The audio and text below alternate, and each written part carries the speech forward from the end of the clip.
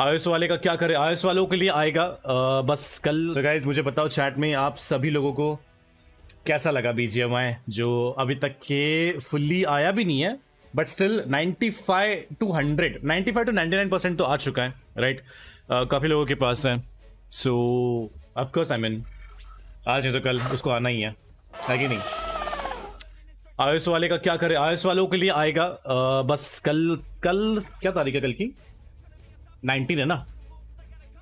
हम्म देखते हैं। आ जाएगा बहुत जल्दी। राइट चलो। Good morning Aadi good morning कब केक प्ले स्टोर में कब आएगा डायनो आ जाएगा ब्रो आ जाएगा डोंट वरी जसप्रीत गेमिंग क्या हाल चाल थैंक यू सो मच मेरे भाई ब्रो मैंने अभी चेक किया है अर्ली एक्सेस अवेलेबल है। नवीन भाई ले लो फटाफट कोई दिक्कत नहीं है। और अकाउंट जब आप ट्रांसफ़र करोगे तो मेक श्योर sure कि आप दोबारा ग्लोबल अकाउंट में मत जाना क्योंकि मैंने कुछ कुछ मैंने स्क्रीनशॉट्स देखे हैं जो जो अर्ली एक्सेस लेने के बाद जिन लोगों ने अपना अकाउंट बीजेएमआई में ट्रांसफ़र कर लिया माइग्रेट कर लिया है और जब वो लोग ग्लोबल अकाउंट ओपन करते हैं उनका पचास साल का बैन हो रहा है भाई।